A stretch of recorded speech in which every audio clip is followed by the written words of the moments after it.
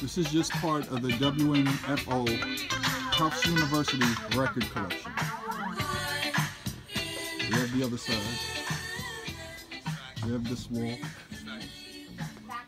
Now, mind you, we have records outside. A fax machine? The fax. I like machine. that. See Hey, here's why I didn't mention you. Because when you first were here, when the first time you came in, I asked you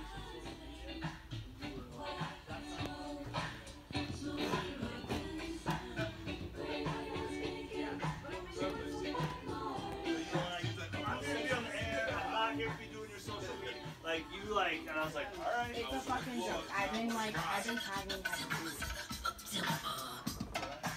Yeah. I go through these records and I find stuff because this record collection dates back to the 60s and even the pre LP era, but especially the LP era when um, Boston helped to revolutionize radio as we know it.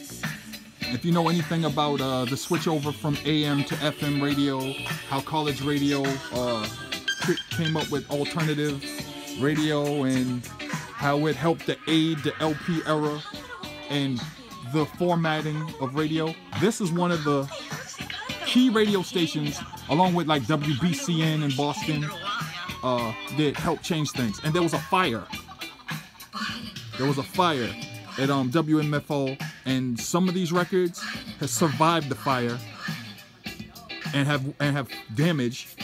And some of these are lent, lent to the station from other college radio stations that were still around or local stations that no longer exist. So this is his history right here. If you know anything about records or Boston, and that's me.